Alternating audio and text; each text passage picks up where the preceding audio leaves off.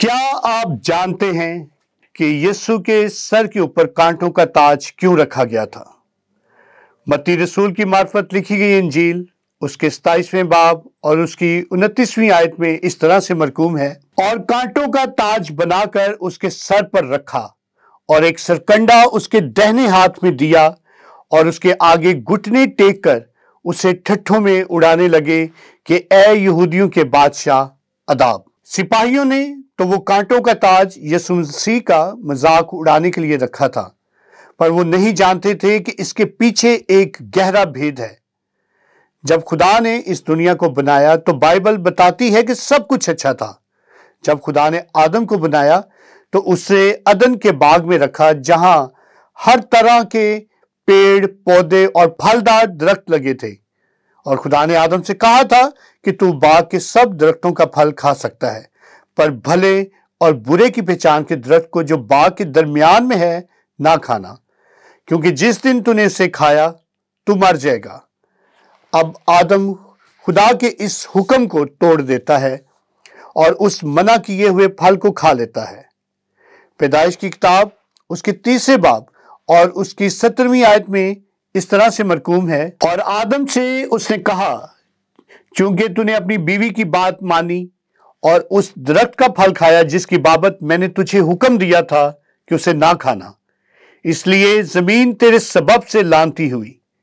मशक्कत के साथ तू अपनी उम्र भर उसकी पैदावार खाएगा और वो तेरे लिए कांटे और ऊँट कटारे उगाएगी और तू खेत की सब्ज़ी खाएगा। उस दिन आदम के गुनाह की वजह से सारी ज़मीन और जो उस पर रहने वाले थे कर्स यानी लानत में चले गए। जानवर एक दूसरे को मारने लगे। ज़मीन इसी वजह से कांटे और ऊँट कटारे उगाने लगी। उस गुनाह ने इंसान को खुदा से दूर कर दिया। वो कांटे उस कर्ज की निशानी थे। जिस ज़मीन को खुदा ने फल लेकर आने को बनाया था, अब वही ज़मीन, अब दर्द खून, आँसू और तबाही पैदा कर रही थी।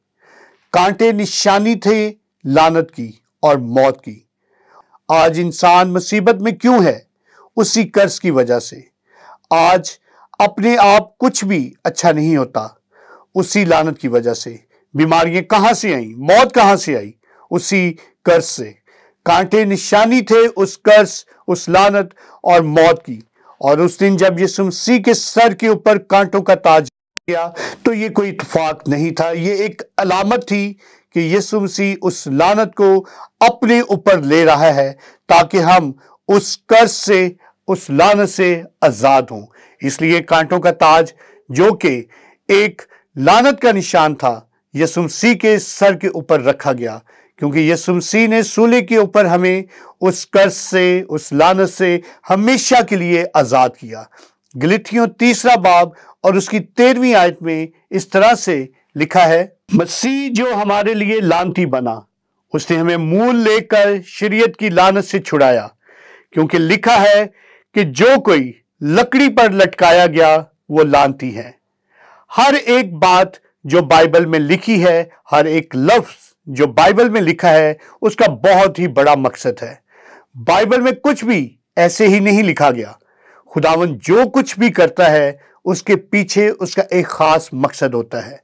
वो इंसान जो खुदा के साथ आमने सामने बातें करता था, जो फरिश्तों के साथ बातें करता था, उनके साथ काम करता था, अब आसमान और जन्नत की चीज़ों से दूर हो चुका था।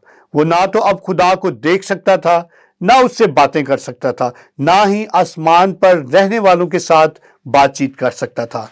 इंसान को अपने से दूर जाता देखकर खुदा से रहा नहीं गया और उसने एक ऐसा मंसूबा बनाया जिससे इंसान फिर से खुदा के साथ रह सके, खुदा के साथ वक्त बिता सके।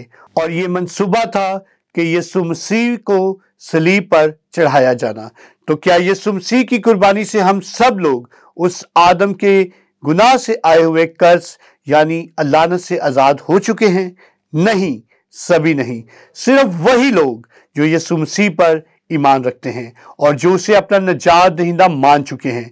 सिर्फ़ वही लोग इस लानत से आज़ाद हैं। हम देखते हैं यूना रसूल की मार्फत लिखी गई इंजील, उसका तीसरा बाब और उसकी सोलहवीं आयत। क्योंकि खुदा ने दुनिया से ऐसी मोहब्बत रखी कि उसने अपना इकलौता बेटा बख्श दिया ताकि जो कोई उस पर ईमान लाए, हलाक ना हो, बल्कि हमेशा की ज़िंदगी पाए। आज अगर आप यसु मसीह को अपना निजात दहिंदा नहीं मानते तो आप अभी भी उसी लानत के बोझ में दबे हुए हैं। अगर आप आज़ादी चाहते हैं अवधि आराम और सुकून चाहते हैं तो वो यसु मसीह में आकर ही हमें मिलता है। आमीन।